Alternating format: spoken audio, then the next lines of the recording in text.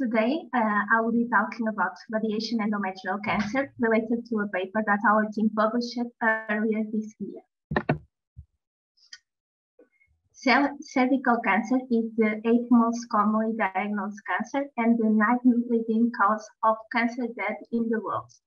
Chemoradiotherapy has been the standard of care uh, for these patients with locally advanced disease for almost two decades.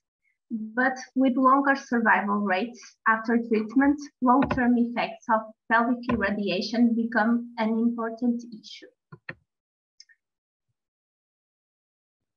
Radiotherapy is one of the main components of multimodality therapy for cancer management.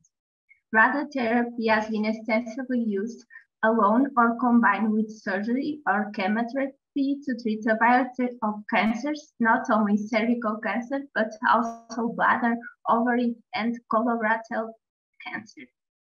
So, radiotherapy plays a crucial role in improving disease control by precisely depositing high energy uh, radiation on cancer cells, subsequently resulting in DNA damage and apoptosis of cancer cells. However, radiotherapy is a double-edged sword um, because as with any cancer therapy, has short-term and long-term side effects, which limit treatment applicability and affect patient survival. Radiation causes damage to healthy cells and tissue near the radiation area, predisposing to inflammation and damage to adjacent structures, and rarely a second tumor can appear. A second primary cancer um, occurrence is regarded as a severe event among long-term cancer survivors who underwent radiotherapy. Endometrial cancer developing after irradiation of pelvic area has been called radiation endometrial cancer and represents a group of heterogeneous tumors, a late and rare complication of radiotherapy. Estimated incidence is 0.5 to 0.8%, but with significantly impaired in the survival outcomes of cancer survivors. The mean latency period is between um, is uh, 14 years uh, range from 5 to 28 years in reported cases. Clinical presentation is atypical, merely present with no specific symptoms of an enlarged uterus and abdominal pain or cramping, leading to a delay in diagnosis. Rarely, uh, vaginal uh, bleeding can appear, whereas we know that the majority of endometrial cancers uh, patients present with vaginal bleeding, which is a symptom that is relatively noticeable.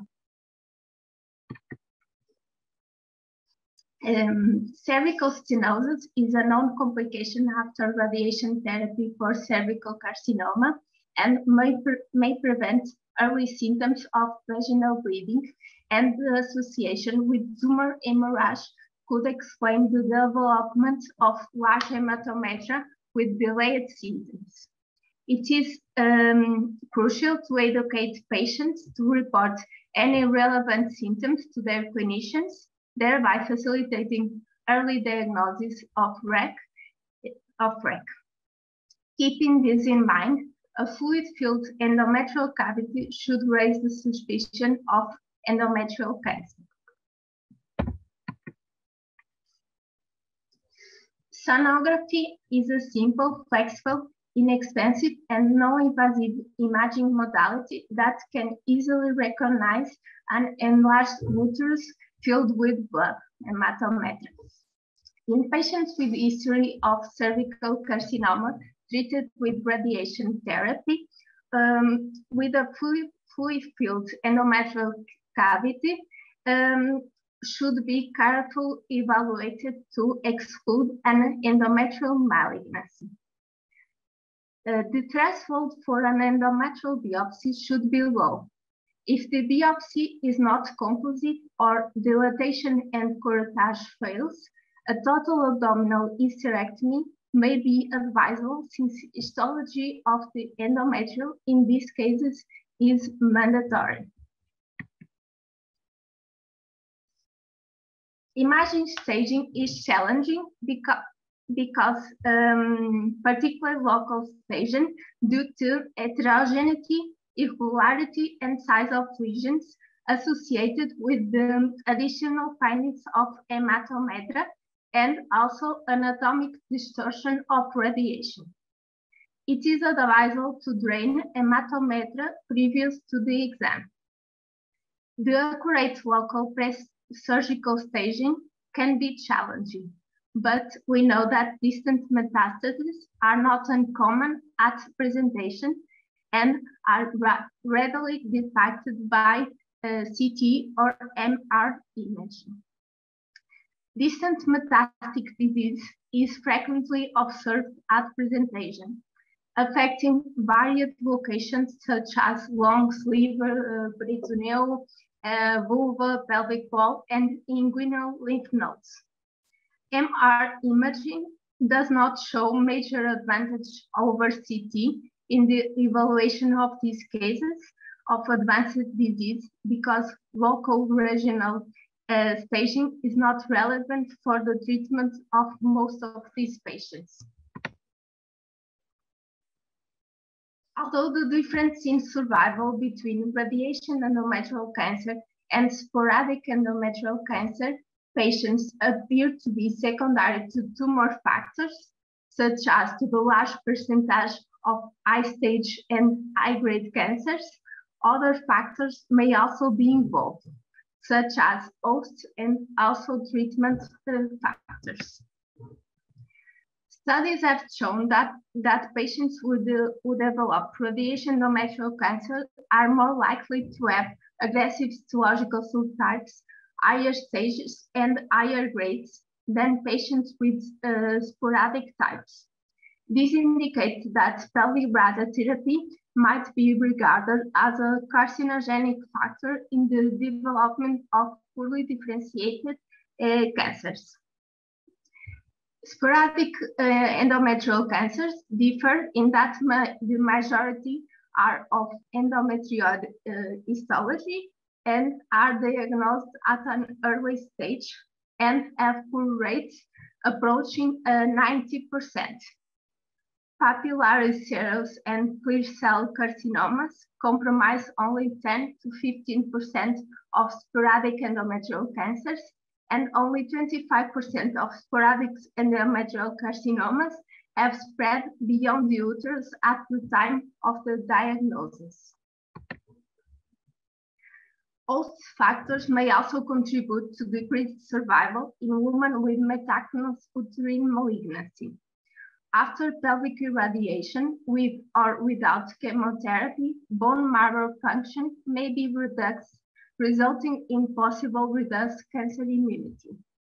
Radiotherapy is generally known, however, to induce enhanced short-term immune function via various mechanisms, such as increased immunogenic cell death, but the long-term effects are not known. Thus, addressing the long-term effects of radiotherapy on cancer immunity may be of interest in the era of oncoimmunotherapy.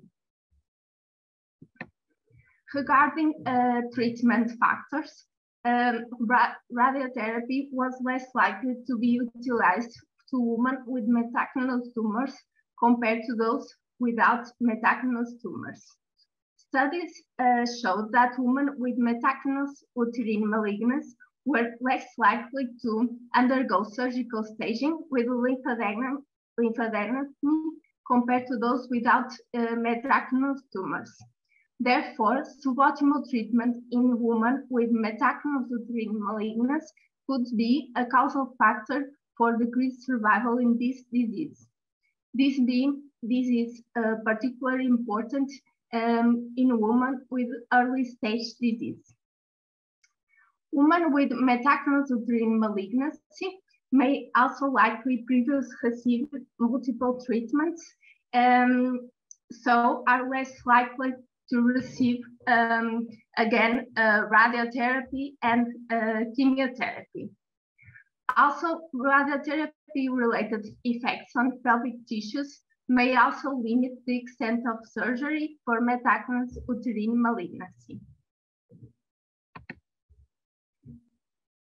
Now uh, we present a clinical case from our hospital that was a patient who that was diagnosed with um, an invasive endocervical adenocarcinoma, stage 1B2, uh, FIGO, and submitted to local treatment with uh, radiotherapy with a complete response. During follow-up, she was diagnosed with various side effects of um, related to the radiotherapy. One year after treatment, she developed cystitis and proctitis. And in the eighth year of follow-up, she developed back pain due to uh, radiation-induced vertebral necrosis. And in 2019, she presented in our uh, urgency department asthenic complaining of pelvic pain with uh, macroscopic hematuria.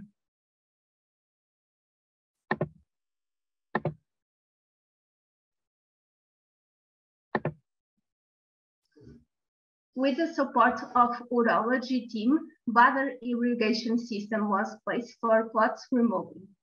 A CT scan re revealed voluminous hematometra. We decided to perform an aspirative biopsy, which was negative for malignant cells. Also, a PET scan was done with no evidence of recurrence or other malignancy.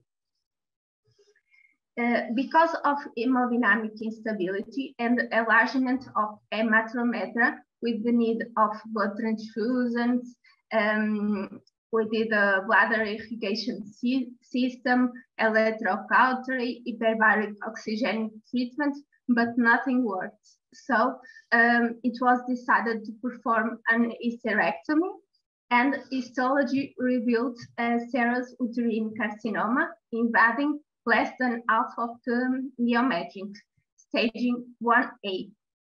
And pathological review with biomolecular analysis ruled out a recurrence of the cervical uh, adenocarcinoma.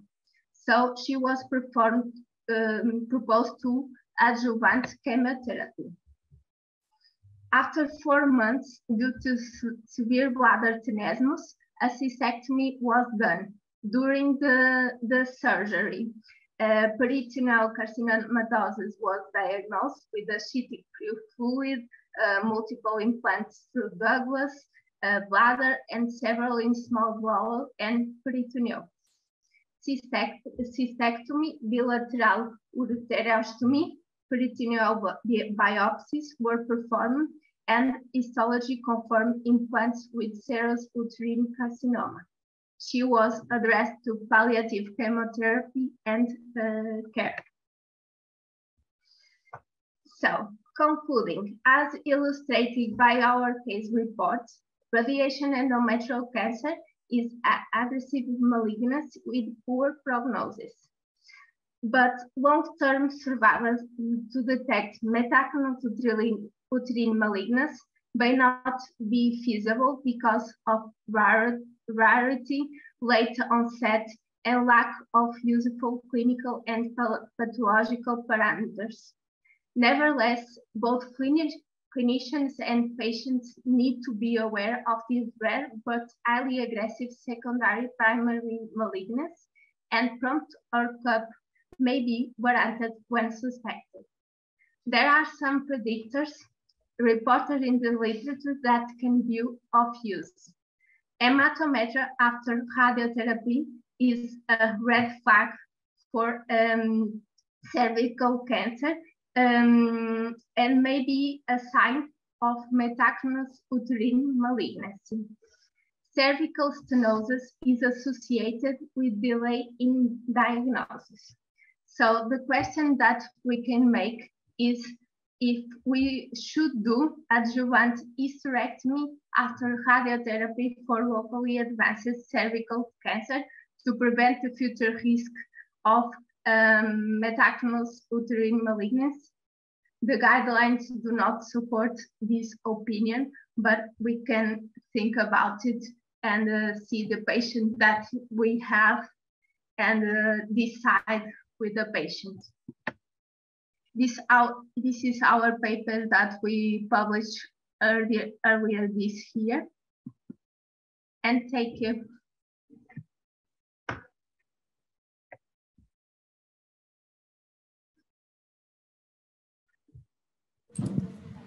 Thank you so much for your presentation, Dr. Sara.